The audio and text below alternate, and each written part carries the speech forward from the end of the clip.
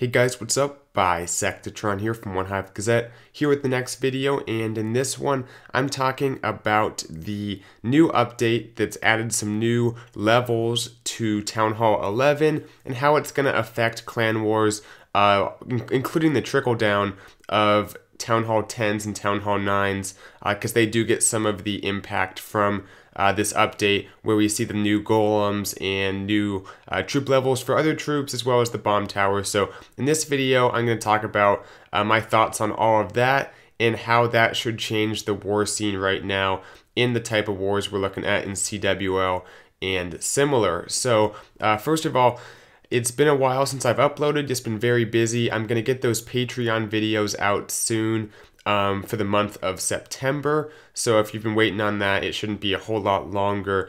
Um, this attack featured some of those nice level 7 golems. That's part of why I'm showing it. A nice hog attack by Todd on this Town Hall 10 base. Uh, pretty important dip. Um, unfortunately, we lost this war. But anyway, let's get to the topic for today, which is that update that came out about a week, a little bit less than a week ago. Um, and let's start with the very first thing on my list here, which is the new bomb tower level. Bomb tower level uh, 6. So this is one level higher than I think max for Town Hall 10. Um, so giving uh, Town Hall 11 their own unique bomb tower level, and I like this change. Um, basically, what it's going to do is it's not going to have a huge impact on 11v11 three-star attempts because it's mainly going to be Laloon uh, for the for that. So it's pretty much just the Town Hall 10s attacking the Town Hall 11s, and ground armies are much more common than dragons or any type of air composition you can think of. So I like kind of balancing that out a little bit. Um, moving on to our next attack here, uh, 10v10 three star. Um, I like that balance, trying to make it a little bit more difficult to do the ground stuff at uh, 10v11. Now it's it's a little bit tricky. It's gotten harder for sure the last few months to do 10v11 attacks to get those two stars. Um, so I, you know, it's it's not great that they're making it even harder, but the bomb tower is not going to be a huge change, just a little bit to uh, to add some splash damage. Bomb towers are typically put next to infernos, um, mainly for the suicide effect they have of blowing up once they are destroyed. So they're going to add even more of a boom to the bowlers, to the Valks, whatever's in the area that just took them out. Um, so I like this change. I think it is good that they're um, adding to the ground defenses of Town Hall 11 um, to counter the uh, the most popular types of 10v11 two-star attacks because um, we all want to see some more creative air stuff at 10v11 as well. So those are my thoughts there. Another change they're making is adding that level 7 golem uh, to Town Hall 11 and this is something that's going to make these uh, attacks like the last one you saw just that much easier whether it's the witch bowler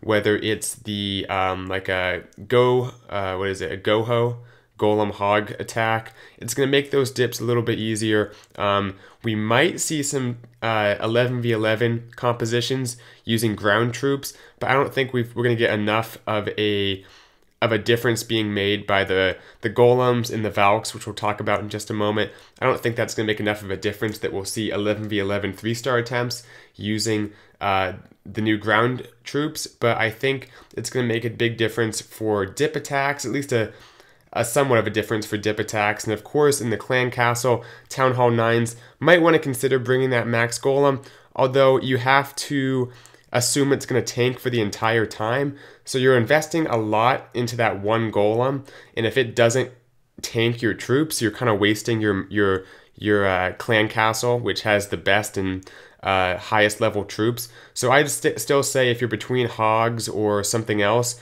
bring the max hogs. You'll get the the value of the level eight hogs right away. Whereas the golem, the uh, the damage increase is pretty much negligible. Uh, what attack are we going to? Number 16 here.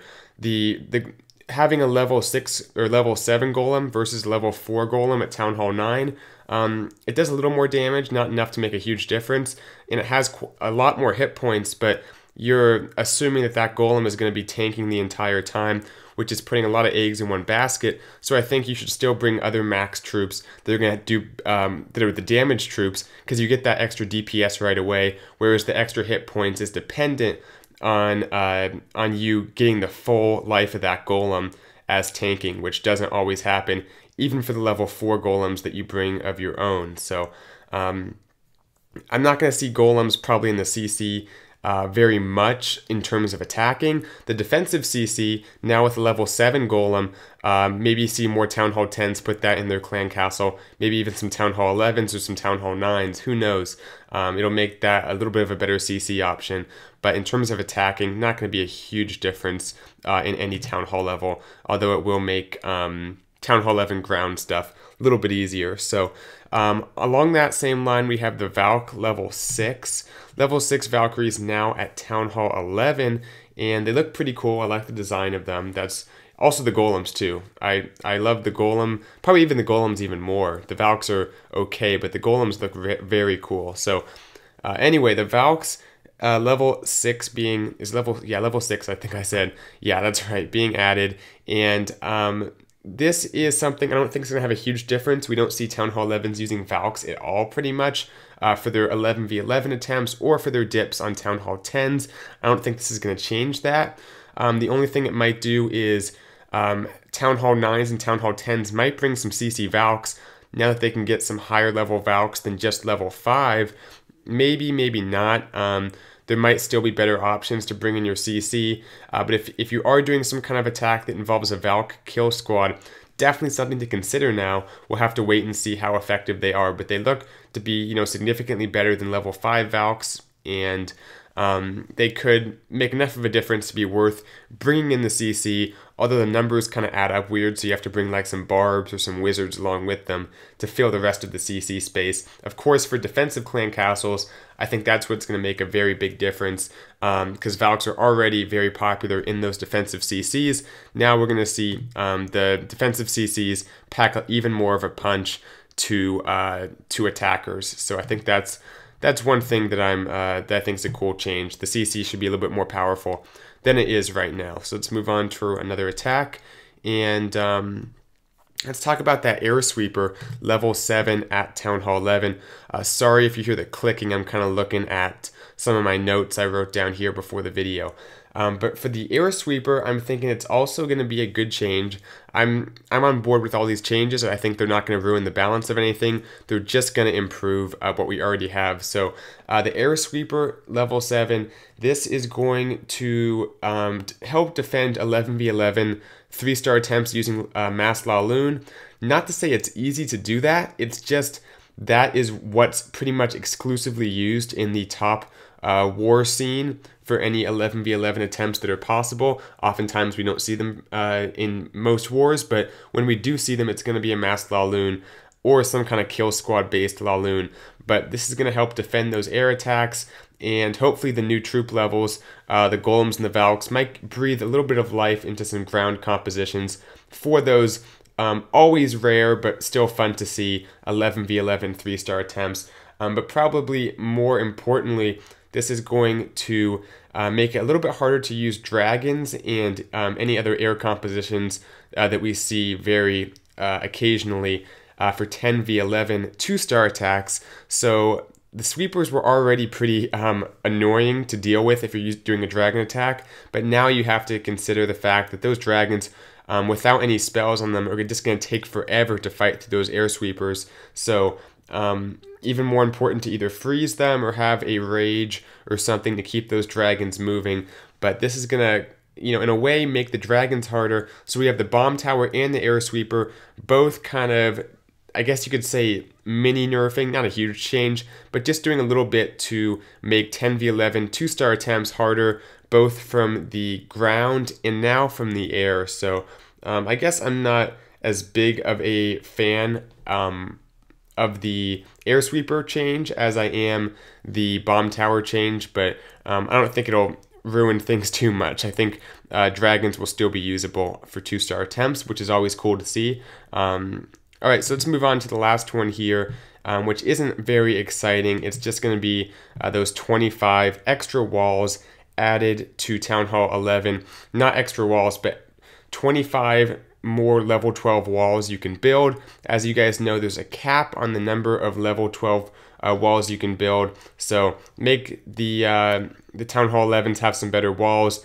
Um, it'll cost some more wall breakers to open up those exterior walls in certain situations. Not a big change, but sure, I'll take it. You know, I guess it's a good change, not a huge, um, not of huge importance, but whatever. Um, so that's the last change.